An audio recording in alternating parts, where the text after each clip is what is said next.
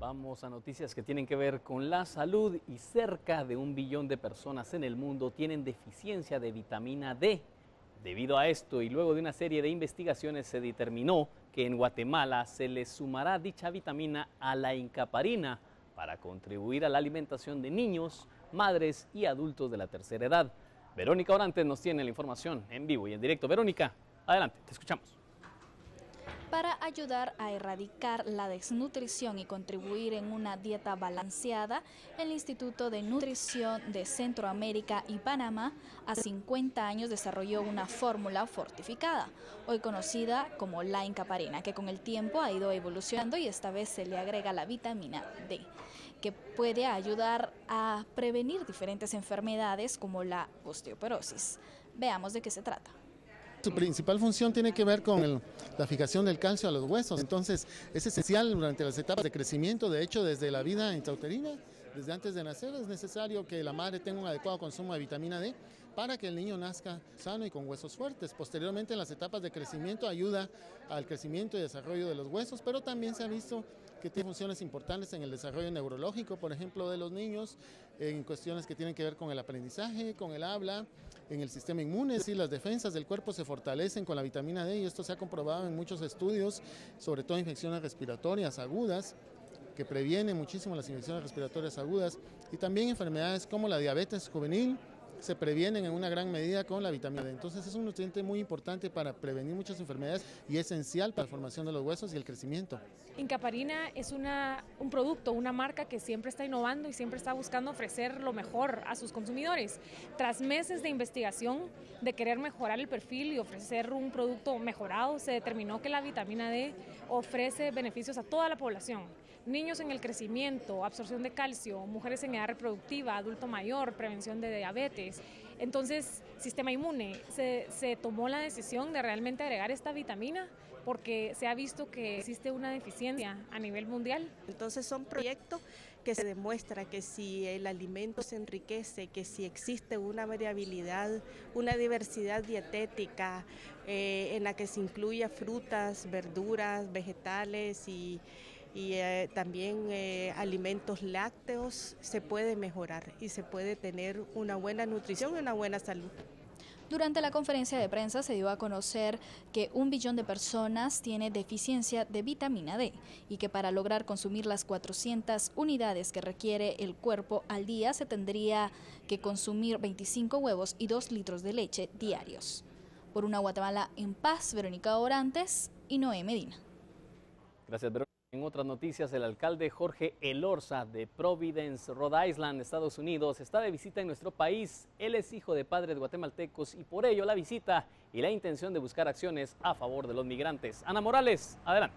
Buenas tardes compañeros. Esta mañana se reunió el alcalde de Providence, Rhode Island de Estados Unidos con el presidente Otto Pérez Molina en la Casa Presidencial para dar a conocer la intención que el alcalde de Hijos Guatemaltecos tiene para poder unificar a los migrantes, tanto de eh, los guatemaltecos que viven en Estados Unidos como también los migrantes aquí en Guatemala. Esto en temas como la cultura, arte, economía, como también la productividad y turismo.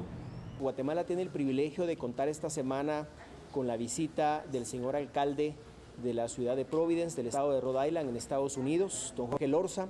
Quiero contarles que don Jorge es un guatemalteco, es hijo eh, de guatemaltecos migrantes que emigraron a Estados Unidos hace muchos años a buscar obviamente una oportunidad económica en aquel país. Yo soy hijo de padres guatemaltecos, eh, emigraron de Guatemala en los años 1970, gente humilde, gente trabajadora a integrar el inmigrante y conectarlo con todos los servicios eh, que, requieren y que también necesitan. Y es por eso que venimos acá a, Guatemala a hacer un enlace más estrecho con ah, varias ah, funciones y principalmente en la área del arte, de la cultura, del turismo y de la economía. Unificar a los migrantes es uno de los objetivos del alcalde. Además, busca promover la economía de los migrantes que viven allá en ese estado, puesto que solo en eh, Providence eh, son cerca de 15 mil guatemaltecos. una iniciativa para que los estudiantes indocumentados tengan acceso a las universidades públicas. También una iniciativa que estamos abogando para que a los indocumentados tengan acceso a las, licencias para conducir, que es algo muy importante. Y también para integrar al, inmigrante que se sienta seguro eh, utilizando los servicios de la ciudad y del Estado como por ejemplo si alguien es una, víctima de un crimen o víctima de fraude, quiero que se sientan seguros llamando a las autoridades. El presidente expresó que eh, se sentía muy agradecido de que la comunidad guatemalteca en Estados Unidos se esté eh, levantando y se esté, eh, se involucrando en, tantas, en tantos ámbitos. es una población de latinos que estamos progresando allá en, los Estados Unidos, una comunidad de modelo ah, que participamos cívicamente ah, y tratar de hacer el trabajo mejor que otros. Y tenemos confianza de que nosotros como hispanos tenemos una riqueza de educación, de valores. En todo el estado de eh, Rhode Island viven cerca de 30 mil migrantes guatemaltecos, por lo que también asegura que el alcalde ha buscado mejoras para que los migrantes guatemaltecas tengan mejores condiciones, principalmente en los accesos de estudio y servicios públicos.